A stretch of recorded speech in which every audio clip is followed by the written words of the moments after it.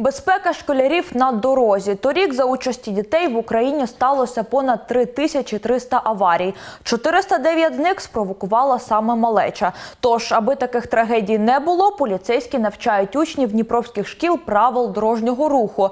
Як вони це роблять, бачила наша Галина Ізмайлова. –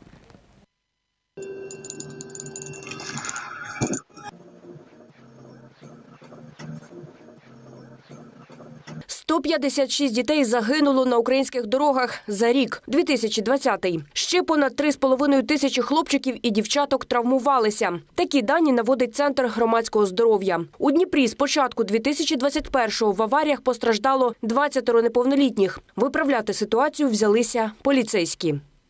Діти, як називається лінія? Стоп, лінія. Біля неї що ми робимо? Повністю зупиняємось, дві ножки ставимо. На тренінгу з півсотні учнів 120-ї школи. Правильно переходити дорогу їх вчать на спеціальному майданчику у сквері Янгеля зі світлофорами, дорожніми знаками та розмітками.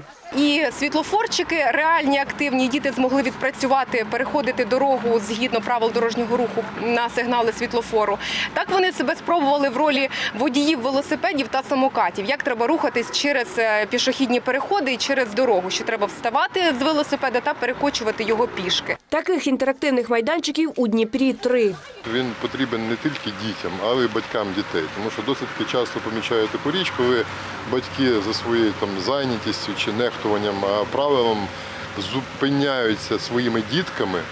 І вони їм кажуть, що тату там чи мама, а тут не можна, а тут пристебнися, а давай почекаємо, навіть попри те, що немає автомобіля на світофорі зеленого знаку. Донька Інни Доценко навчається у третьому класі. Жінка зізнається, не наважилася б дозволити їй самостійно переходити дорогу. Сколько случается аварий, ДТП, я считаю, что да, это очень полезная информация. Во-первых, дети учат правила дорожного движения, и родители тоже для себя что-то познают.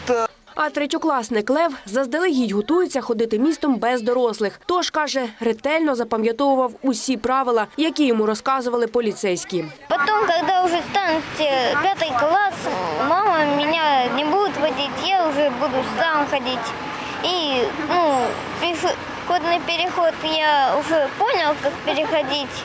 И как, э, что, если б не попасть в аварию и, и не попасть в больницу, везде, что всю вечность пролежать э, в постели.